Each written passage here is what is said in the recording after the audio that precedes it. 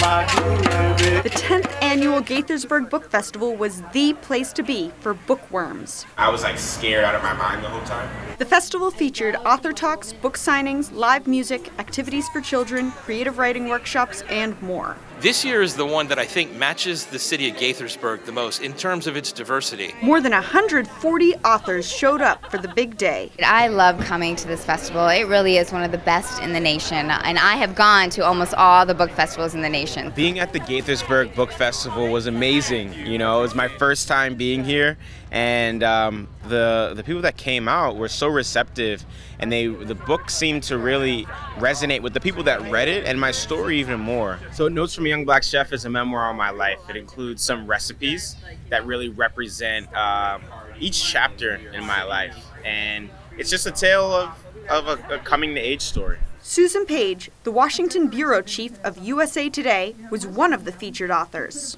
You know, one thing that has struck me is how interested people are in Barbara Bush, and I think it's because she harkens back to a day when our politics were more civil.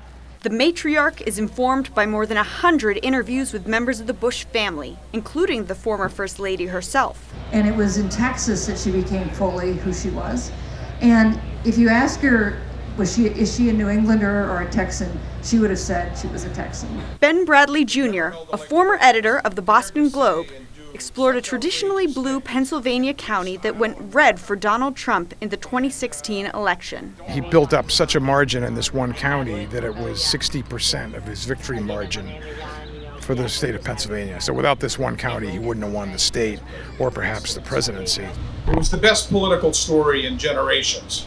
Here was a crude real estate magnate and reality TV star who never held elected office and who dared to say and do such outrageous things that had any other more conventional candidate said or done them, they would have been instantly written off. Overall, it was a successful day with perfect weather. Reporting in Gaithersburg, I'm Deirdre Byrne for My MC Media.